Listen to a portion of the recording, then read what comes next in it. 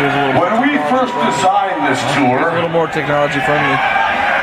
we thought to ourselves, if you're going to the East Coast, you've got to have some nasty fucking East Coast bands.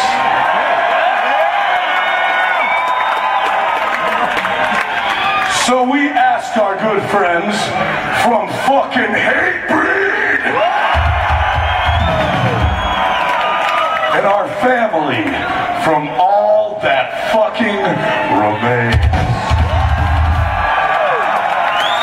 Are you guys happy with this lineup? This is my only problem.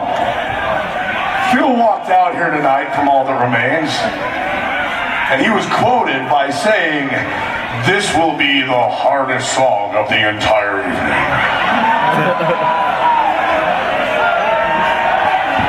Such a big fucking mouth for such a small fucking guy.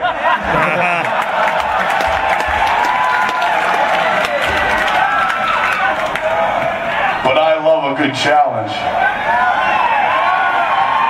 So here it is. When I say five finger, you say.